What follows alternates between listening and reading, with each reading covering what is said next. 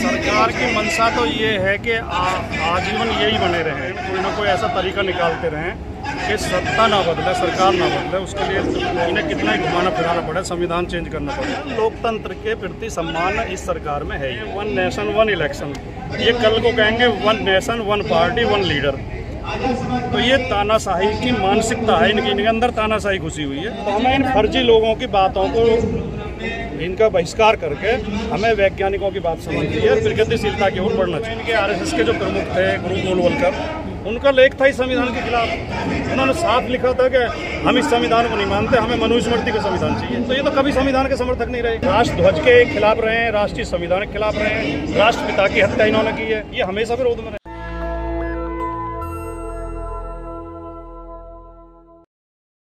हिंदू राष्ट्र बनाने की कोशिश कर रहे हैं चक्रपाणी जी बोल गए हैं। वन चक्रपाणी तो एक दिन ये बता रहे थे कि चंद्रमा ने जो इंद्र का सहयोग किया था हिल्या की इज़्ज़त लूटने में चंद्रमा आया था धरती पे और मुर्गा बन के उसने बाँध दी थी। तो ये जो हवा ये जो भेजे हैं चंद्रयान वंद्रयान उसके खिलाफ एफ़ आई आर लिखवा पहले तो उस रेप में उसके खिलाफ मुकदमा करें। लेकिन सर वो जो झगड़ा सुनो। जो चंद्रयान हमारा गया है वो भारत की प्रगति का प्रतीक है। भारत के वैज्ञानिकों को बहुत बहुत बधाई।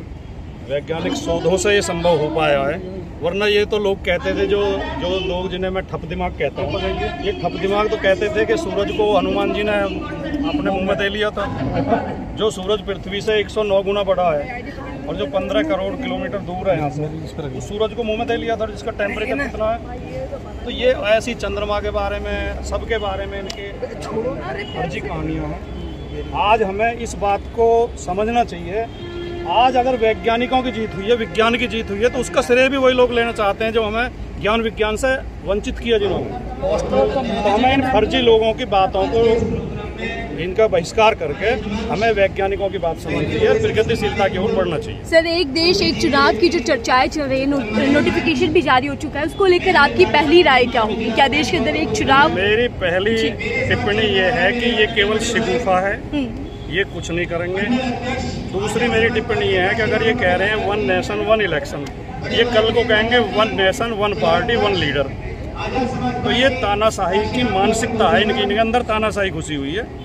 ये देश विभिन्नताओं का देश है बहुत ढेर कल्चर हैं अलग अलग प्रदेश हैं। अगर अलग अलग इलेक्शन होते हैं लोकतंत्र ज़िंदा रहना चाहिए। पैसे बचा के अगर आप लोकतंत्र की हत्या करेंगे कह रहे पैसे बचेंगे। जो प्रधानमंत्री दिन में पाँच बार ड्रेस बदलता हो हम कहने लगे one PM one day one dress जो इतिहास का सबसे खर्चीला प्रधानमंत्री है वो कह रहा पैसे बचेंगे। प्रसाद मौर्य जी विकास की गति भी नहीं रुक पाएगी। अगर देश के अंदर एक चुनाव एक साथ होता है तो विकास की गति रुक नहीं पाएगी। नेता अपने काम पर ध्यान दें। नहीं ये मोटे तौर पर तो देखने में श्रद्धा के तौर पर सही लगता है। और हम भी चाहते हैं कि अगर कोई ऐसा तरीका निकल आए लेकिन व्यवहारिक नहीं है। हमारे जो संविधान है वो क्या कहता है कि जिस सरकार का बहुमत नहीं रहेगा वो सरकार गिर जाएगी मध्यावधि चुनाव होंगे। अब जिन प्रदेशों में सरकारें गिरेंगी, उनमें बाकी कार्यकाल के लिए क्या करोगे? या तो राज्यपाल शासन लगाना पड़ेगा तो वो लोकतंत्र की हत्या होगी? या समय से पहले चुनाव कराओगे, या सबके चुनाव कराओगे? तो इस पर कोई व्यवहारिक तरीका निकाला जाए, सबकी राय लेकर ये जल्दबाजी में नहीं हो सकता। लेकिन जा रहा है इसमें प्रश्नकाल और शून्यकाल नहीं होगा। तो देखिए क्या अब प्रश्नकाल और शून्यकाल नहीं होगा उसी से लगना लोकतंत्र के प्रति सम्मान इस सरकार में है ही नहीं। ये सारे रास्ते वो अपनाते हैं जिनसे लोकतंत्र सीमित है। सर आपकी पार्टी के जो मौर्य वो कह रहे कि हिंदू धर्म को धर्म ही नहीं है तो गाली पड़ रही है सर उनको। तकनीकी तौर पे तो उनकी बात सही है, लेकिन मैं इतना ज़रूर कहना चाहूँगा कि राजनीतिक लोगों को ऐसे विवादास्पद बयानों से बचना चाहिए। लेकिन बाबा ने कह दिया कि हम इनको जो है इनाम घोषित कर दिया वो बाबा तो बाबा लोकसभा चुनाव से ठीक पहले एक देश एक चुनाव की बात जो की जा रही है इससे क्या सरकार की मंशा पर किसी तरीके का प्रश्न खड़ा हो जाता है है? ठीक लोकसभा विधानसभा चुनाव से पहले एक देश एक चुनाव की बात जो की जा रही है इस पूरे विषय को लेकर क्या सरकार की मंशा पर सवाल खड़े हो जाते हैं?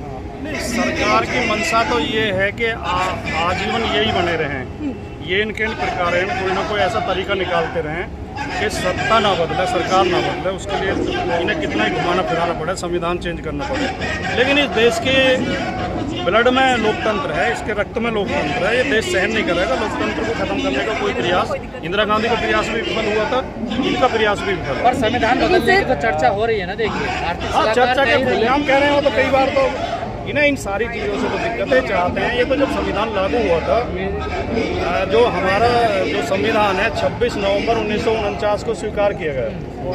और उसके दो दिन बाद 28 या 29 नवंबर के ऑर्गेनाइजर में, उस समय इनके आरएसएस के जो प्रमुख थे, गुरु गोलवलकर उनका लेख था इस संविधान के खिलाफ। उन्होंने साफ़ लिखा था कि हम इस संविधान को नहीं मानते, हमें मनुस्मृति का संविधान चाहिए। मनुस्मृति पर आधारित संविधान होना चाहिए। ये संविधान तो कटिंग पेस्टिंग से बनाया गया अलग अलग अलग देशों की अलग वो बातें इसमें जोड़ दी गई हैं। तो ये तो कभी संविधान के समर्थक नहीं रहे।